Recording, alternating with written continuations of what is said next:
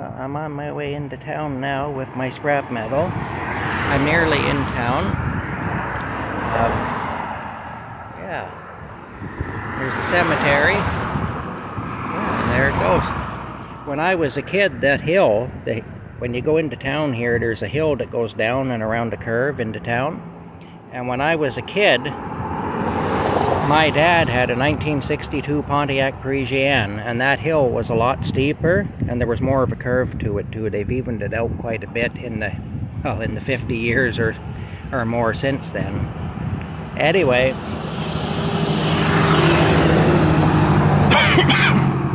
anyway, um, my dad, he had always dreamed of being a pilot. He always wanted to fly and he never was able to. He wanted to join the, the Air Force when the Korean War was on, but he was a little too young. He would have needed my grandparents to agree. And of course, my grandparents were of the generation that had come through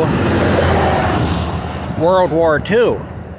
So they weren't too keen on sending their son to a war. They knew a lot of guys their age who went to war and never came home, you know and so they refused to sign for him, but that was always his dream.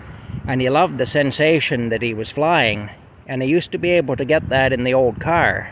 This was back in like 1971, 72, 73, in there.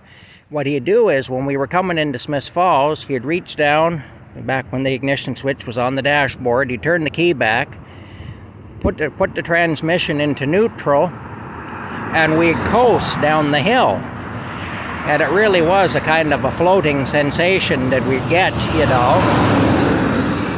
Anyway, he used to call that flying. it's just a memory I have of my dad, anyway. But anyway, I'm going to continue on my journey now. We'll talk to you all later.